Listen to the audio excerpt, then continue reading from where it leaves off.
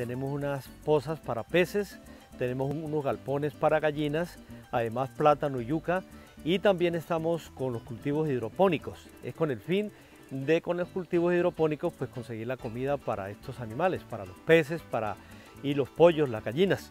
Pues recibimos la formación de, piscicultura, ¿sí? nos explicaron todo lo que es la piscicultura, desde hacer los estanques hasta echar los peces. Ahí el doctor Luis Alfredo nos estuvo colaborando.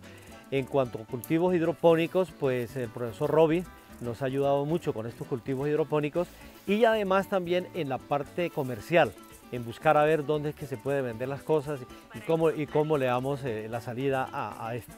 Le agradecemos al SENA, gracias al SENA porque nos ha apoyado, nos ha instruido y además nos han dado alimento y cosas para, para sacar adelante este proyecto.